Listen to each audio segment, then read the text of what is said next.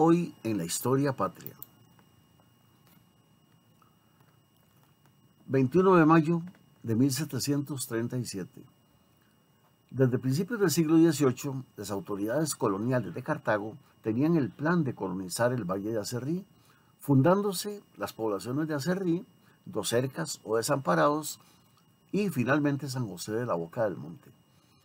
En 1737 se asientan las primeras cuatro familias en San José, entre los ríos Torres y María Aguilar, dando inicio a la construcción de la primera ermita, terminada un año después, en 1738.